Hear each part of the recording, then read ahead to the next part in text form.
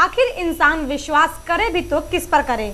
आए दिन TV channel पर देखने व सुनने मिलता है कि कुछ बिल्डरों द्वारा लोग परेशान हैं। बिल्डर लोगों से दस्तावेजों पर दस्तखत तो करवा लेते हैं, लेकिन उनसे कैनी काटने लगते हैं, यानी उनसे पीछा छुड़ाने लगते हैं और बहाने बनाते हैं।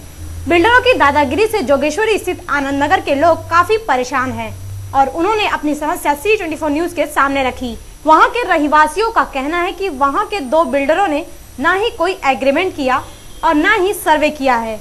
लेकिन घरों और दुकानों को तोड़ने का काम शुरू कर दिया है। वे लोग वहाँ पर लगभग 25 से 30 सालों से रह रहे हैं। बावजूद इसके बिल्डर उनसे दादा